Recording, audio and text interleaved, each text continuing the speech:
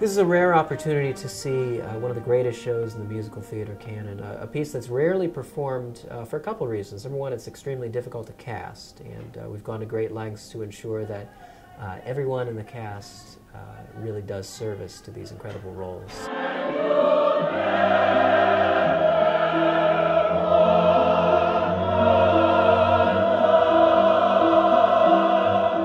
Joshua Jeremiah plays the role of Billy Bigelow.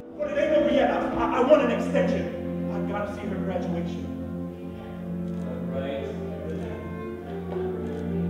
He's a nationally demanded uh, opera and theater performer uh, that was actually nominated for a Grammy Award uh, for his performance in John Musto's Volpone.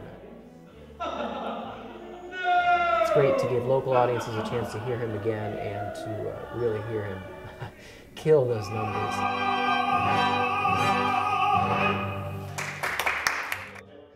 Carousel was named Best Musical of the Century by Time magazine. And uh, Ben Brantley of the New York Times said this was Richard Rodgers' uh, greatest score, which is high praise uh, considering all of the wonderful shows they put out.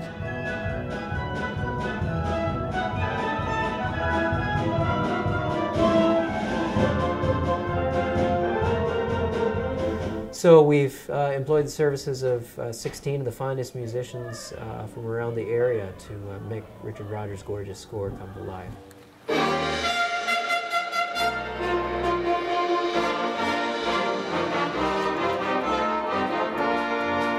A very unique opportunity to see uh, one of the greatest shows ever written for the musical stage uh, come to life here at the Carnegie.